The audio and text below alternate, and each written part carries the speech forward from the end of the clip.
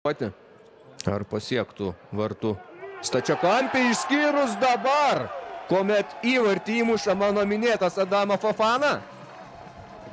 Ir štai taip, mano minėtas Salto. Džiaugiasi jis su komandos draugais ir iš ties gera ataka, greita, atrodė nieko čia galbūt ir neįvyks, bet vienas, du perdavimas ir kamuolys atsidūręs baudos aikštelėje krenta į vartų tinklą. Paulius Golubitskas atliko šį perdavimą.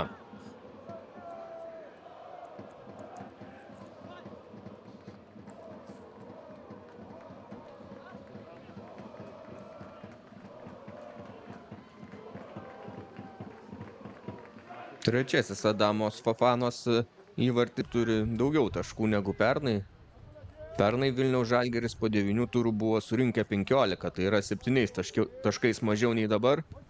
O Dainava turėjo 10 taškų, tai yra 2 mažiau negu dabar. Čia proga. Štai taip, dar apkutravo savo varžovus. Žalis buvo pesus, smūgiavo jam. Smūg... Nepavyko įmušti įvarčio. Čia dar vienas išgelbėtas. ne, vis dėlto įmuša Livio Antalis. Taip, dar kartą pakartojimas. Ne, ten jo nuošalės negalėjo būti.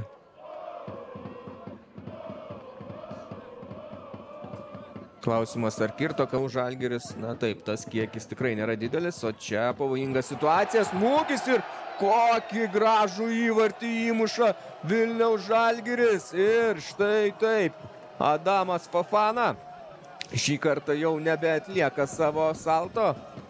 Užteks ir jog atliko jį po pirmojo įvarčio, dabar jau jo dublis šiandienos rungtynėse.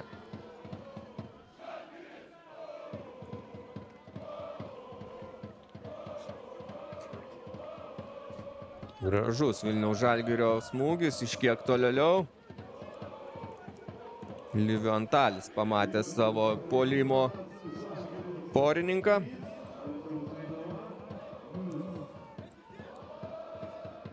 Prie kamulio trys Žalgirio žaidėjai.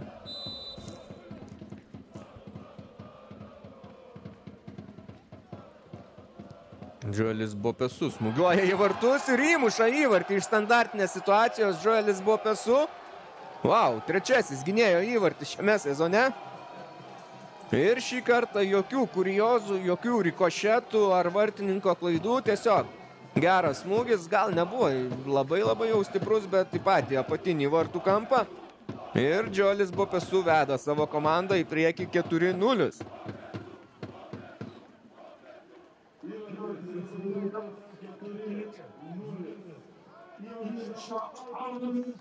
Na, vartininkas į tą kampą atrodo lyg ir spėjo, bet stovėjo galbūt per arti.